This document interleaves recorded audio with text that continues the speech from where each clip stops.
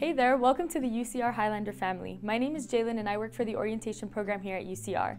Today we will be covering a few things you need to know before registering for your orientation session. The first thing you need to know is your NetID.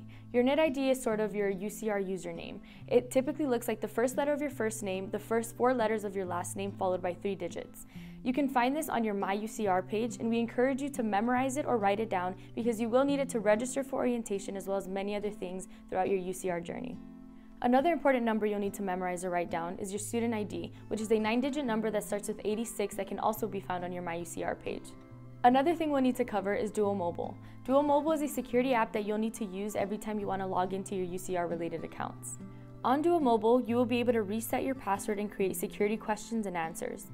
Navigate to mobile devices, and then click Add Mobile Device to be able to add a smartphone or tablet that you will use to access your account.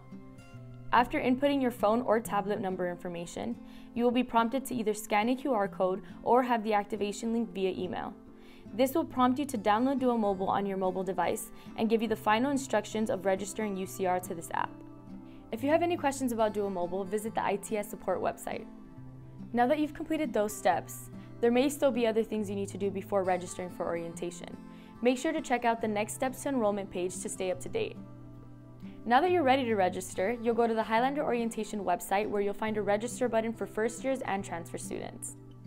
Now, what sessions should you attend? There are options all throughout the summer depending on your college or school, and if you don't know your college or school, you can check out your admissions letter. We encourage you to register for your session day early in order to give yourself enough time to prepare before orientation. Some of you might even be eligible for our priority session, so make sure you check out our website to see if that applies to you.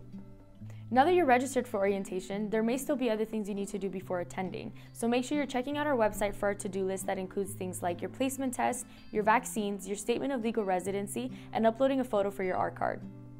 If you have any questions about orientation, you can call or email us. And that's it. We'll see you in the summer.